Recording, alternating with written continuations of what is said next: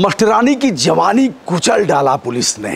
बरसों बरसों तक खेलती रही महिला टीचर की जवानी से दागदार वर्दी, जिस पुलिस के ऊपर अपराधियों को कुचलना आम जन के सुरक्षा की संपूर्ण ज़िम्मेदारी, हिफाजत करने का दायित्व, यदि वही पुलिस, वही खाकी वर्दी, गरीब, मजलूम, पीड़ित लोगों को गुनहगार साबित करने लगे, उसके वजूद और संपूर्ण गरिमा के साथ खिलवाड़ करने लगे तो फिर जानना पड़ेगा कि देश में कानून का राज नहीं है और देश आज़ाद भी नहीं है। यदि ऐसा हो रहा है तो देश के मालिकों के ऊपर तो यदि ऐसा कहर ढाया जा रहा है मुल्क के मालिकों के ऊपर तो यह जानना पड़ेगा, यह समझना पड़ेगा कि संविधान की सत्ता देश में नहीं रह गई है। आखिर गुहार भी किससे लगाएँ? कोई संवेदनशील अधिकारी, कोई राजनेता, सुनने को तैयार हो तब तो। कहावत है, जहाँ बेदर्द हाकिम हो, वहाँ फरियाद क्या करना। गरीब बच्चों से प्यार करने वाली एक महिला टीचर की बर्बादी की दास्तान पर आज का हमारा यह वीडियो, जिसे पुलिस ने, पुलिस की नाकामियों और राक्षसी स्वभाव के कारण अपने छोटे छोटे बच्चों को छोड़कर पति के साथ जेल जाना पड़ता है। वृद्ध पिता को पुलिस ने कूच कूच कर अधमरा बना दिया और हट्टा कट्टा गबरू जवान, मजदूर पति की इस तरह से पिटाई किया कि वह खड़ा होकर चलने लायक नहीं रह गया। रेंग रेंग कर चलने लगा था। पति को पुलिस ने नक्सली बनाकर जेल भेज दिया। मामला यहीं तक नहीं रुका। अध्यापिका मैम पर पुलिस ने गंभीर धाराओं के साथ राजद्रोह का मुकदमा भी लगा दिया। ग्यारह साल तक जेल में काटने के बाद जब वह अध्यापिका न्यायालय द्वारा निर्दोष साबित होकर बाहर आई तो सब कुछ बर्बाद हो चुका था। लुट चुके थे खूबसूरत जीवन के सपने और गुजर चुका था मांग का सिंदूर। दैनिक भास्कर सहित अन्य सूचनाओं का संज्ञान लेकर आज का हमारा यह वीडियो। हम आपको ले चलते हैं देश के छत्तीसगढ़ में छत्तीसगढ़ का बस्तर और दंतेवाड़ा इलाका, जो नक्सली एरिया के नाम से जाना जाता है। पुलिस, सेना और नक्सलियों के बीच लगातार टकराहट होती रहती है। इन घटनाओं में दोनों तरफ़ से जाने भी जाती हैं। और दोनों के बीच अगर कोई कुचला जाता है, कोई मारा जाता है, कोई सताया जाता है, किसी को प्रताड़ित किया जाता है और किसी की बर्बादी यदि होती है तो वह निर्दोष और बेकसूर लोग हैं। काफ़ी पलायन भी हुआ, किंतु अभी तक यह क्षेत्र अशांत ही माना जाता है। दंतेवाड़ा के पटेल पारा गाँव के किसान मजदूर परिवार में पैदा हुई सोनी सोरी माँ बाप का हाथ बटाते हुए मजदूरी करती थी। किसी प्रकार बारहवीं तक की पढ़ाई उसने उसी माहौल में मजदूर पिता के साथ उनके सानिध्य में कर लिया। स्कूल में पढ़ाने का दायित्व मिला, मास्टरानी हो गई, अध्यापिका हो गई और फिर पढ़ाई भी जारी रखा। एक ऐसा इलाका जहाँ बच्चा, बच्चे शिक्षा से वंचित होते हैं, उन्हें डर होता है उनके परिवारों को कि नक्सली बच्चों का अपहरण कर लेंगे, उन्हें मार डालेंगे, इसलिए लोग अपने बच्चों को स्कूल नहीं भेजते। सोनी का जुनून था, हम ऐसे बच्चों को पढ़ाएँगे, इसलिए वर्ष 2002 में विद्यालय ज्वाइन करने के साथ ही वह गाँव में घूम घूम कर बच्चों को इकट्ठा करती है। कहती है, अपने बच्चों को भेजो, कोई डर नहीं है, नक्सली यहाँ नहीं आएगा। आप भी मजदूरी कर रहे हो, आपके पूर्वज भी मजदूरी करते मर गए और आपके बच्चे भी मजदूरी करेंगे। भेजिए, बच्चे पढ़ लिख करके अच्छे नागरिक बनेंगे। सोनी को पढ़ाने का जुनून था और उसका प्यार देख करके लोगों ने बच्चों को स्कूल में भेजा, बच्चों को अच्छी तालीम मिली, बच्चों को जब स्नेह और प्यार मिला तथा पढ़ाई भी ककहरा सीखा, फिर बच्चों की संख्या विद्यालय में बढ़ने लगी। एक दिन नक्सलियों की महापंचायत हुई। चूँकि नक्सलियों की आँख में चुभ रही थी, सोनी सोरी, सोनी को बुलाया गया उस महापंचायत में। देखा, नक्सली बैठे हुए हैं, जो नक्सलियों के सरदार हैं, उनके लिए चौकी तखत बिछा हुआ है, उस पर बिस्तर डाला गया है, बैठे हैं चारों तरफ़ से। कई दर्जन की संख्या में बंदूकधारी उनकी सुरक्षा करते हुए देखे जा रहे हैं और ज़मीन पर बैठे हुए हैं गाँव और इलाके के लोग।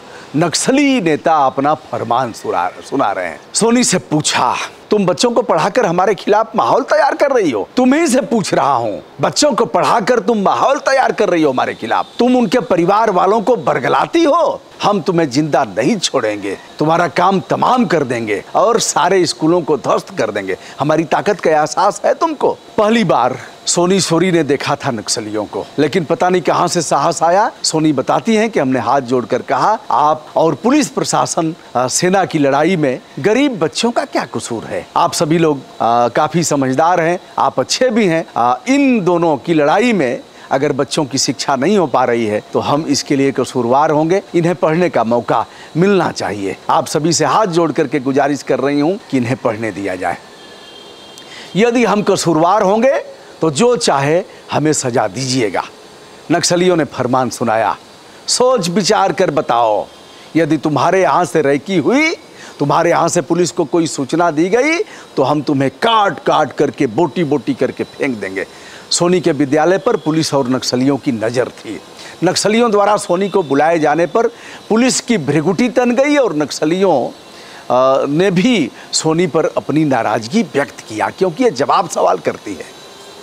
सोनी के मजदूर पति को पुलिस उठा ले गई।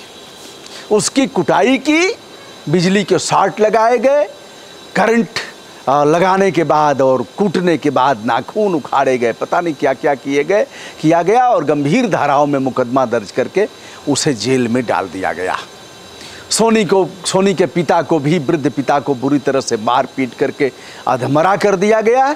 इतने पर भी उन्हें संतोष नहीं हुआ तो वर्ष 2011 में सोनी के ऊपर गंभीर धाराओं में मुकदमा दर्ज किया गया, पीटा गया, बिजली के शॉर्ट लगाए गए और नंगा करके उसे बुरी तरह से पीटा गया। सोनी बताती हैं कि जैसे बोरे में आलू रख करके और उसे पीटा जाए, कूचा जाए, वैसे हमें पीटा गया। इतने पर ही पुलिस ठंडा पुलिस का गुस्सा शांत नहीं होता है। सोनी बताती हैं कि हमारे गुप्तांग में पत्थर डालकर हमें प्रताड़ित किया गया। दैनिक भास्कर से वार्ता करते हुए सोनी कहती हैं कि जो कुछ हुआ उसे हम बता नहीं सकते। किस प्रकार का बर्बर व्यवहार पुलिस ने हमारे साथ किया, हम उसे, वह बताने लायक नहीं है। आज भी बिजली के बल्ब जला जलाने में सोनी को डर लगता है, स्विच तक हाथ नहीं पहुँच पाता क्योंकि बिजली का करंट जिस तरह से उन्हें दिया गया था। दोस्तों, गंभीर धाराओं के साथ पुलिस मुकदमा दर्ज करती है सोनी के ऊपर और राष्ट्रद्रोह में भी मुकदमा पंजीकृत किया जाता है। तीनों बच्चे अनाथ होकर घर पर थे और सोनी कहती हैं, हमारी, हमारे ससुर को पुलिस ने बुरी तरह से पीटा, जो अधमरे हो गए। सोनी छत्तीसगढ़ के दंतेवाड़ा से भागकर दिल्ली जाती है गुहार लगाने के लिए। राजनेताओं के पास, लेकिन पुलिस उसका पीछा कर अरेस्ट करती है। मानसिक तथा शारीरिक प्रताड़ना देने के बाद जेल में सोनी को ठूस दिया जाता है। बड़ा मार्मिक प्रसंग है दोस्तों। जेल में पहली बार, बरसों बाद जब सोनी का सामना उसके पति से होता है तो उन्हें पहचान नहीं पाती है, जिसे नक्सली बनाकर गंभीर धाराओं में अभियोग पंजीकृत कर जेल में डाला गया। वैसे तो सोनी कई जेल जेलों में रखी जाती है लेकिन पहली बार जब उसके पति से आ, सोनी का सामना होता है तो देखती है हमारा गबरू जवान मजदूर हट्टा कट्टा शारीरिक स्वस्थ वाला पति इस तरह से पीट पीट करके अधमरा कर दिया गया है कि वह सांप और छिपकली गिरगिट जैसा रेंग रेंग करके चल रहा है। भला हो न्यायालय का जिसने सोनी के पति को बाइजत रिहा कर दिया बरसों बाद। सोनी से जेल अधिकारियों ने पूछा अपने घर सूचना दिया अपने कहा कि अपने घर सूचना कर दो कि वे लोग आकर के तुम्हारे पति को ले जाएँ। सोनी ने कहा, हमारे घर कोई ले जाने वाला नहीं है। और जिस दशा में हमारे पति को गिरफ़्तार किया गया है, निर्दोष साबित हुए हैं, कोई अफेंस उनके ऊपर नहीं बन रहा है, उसी दशा में दवा इलाज करके, खिला पिला करके हमारे पति को ठीक करो। उन लोगों ने आँखें तरेरा। सोनी के प्रश्नों का जवाब उनके पास नहीं था। कथा यहीं ख़त्म नहीं होती है। ग्यारह साल बाद 2022 में समस्त आरोपों से मुक्त होकर सोनी को जेल से रिहा किया गया। बाहर निकली, घर पहुँची तो पता लगा कि पुलिस की पिटाई से भूखमरी और मानसिक तथा शारीरिक यातना को झेलने वाला उसका रमऊ। अभी भी महिलाएँ रोती हैं तो कहती हैं, अरे, हमार रमऊ रमऊ कह करके रोती हैं। उसका गबरू जवान, उसका पति उस मानसिक और शारीरिक प्रताड़ना को झेल नहीं पाया था। अब वह इस दुनिया में नहीं रहा।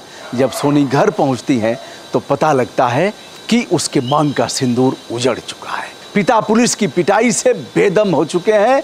वह चल नहीं सकते। हमारे मकान, सोनी बताती हैं कि हमारे मकान को नक्सलियों ने पूरी तौर पर ध्वस्त कर दिया था। वह लोग खुले आसमान में रहने के लिए बाध्य थे, क्योंकि आ, उसको नक्सलियों को पता था कि यह पुलिस की मुखबिर है और पुलिस को यह था कि यह नक्सलियों की मुखबिर है। उस बीच मारा गया यह बेकसूर परिवार। न पुलिस ने साथ दिया साथ देने की बात कौन कहे? राष्ट्रद्रोह की धारा लगा दिया। दोनों के दुश्मन के रूप में यह जाना जा रहा परिवार। सोनी सोरी यह भी बताती हैं कि जिन बच्चों को मैं पढ़ाती थी उनमें एक छात्र बिरसा की माँ मर गई थी। घर से ले आकर के हमने उसे पढ़ाया, क्योंकि बाप को पता लगा कि पुलिस ने नक्सली बना दिया है। बाद में पुलिस ने उसे पकड़ा और उसे ऊपर भेज दिया। हमने इस अभागे छात्र को खोजा और पढ़ाया। इसका भी अपहरण हुआ था, जिसे बाद में पुलिस ने खोजा और पिता को नक्सली बना करके पुलिस ने ऊपर भेज ही दिया था। हम उसके धर्म की माथी हमारे बच्चों के साथ साथ वह भी अनाथ हो गया। हमारे जवान को पुलिस ने कुचल डाला।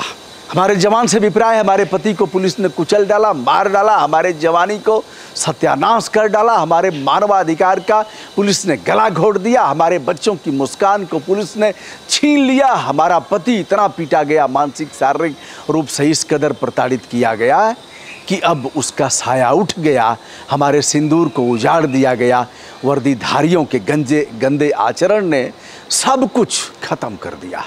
हमारा पिता इनकी बर्बरता पिटाई बर्बर पिटाई के कारण घिसटते हुए चलने को मजबूर है। इतने संघर्ष के बाद हमें लोग बस्तर की अम्मा कहते हैं, जीवन के अंतिम क्षण तक इनके लिए हम संघर्ष करते रहेंगे।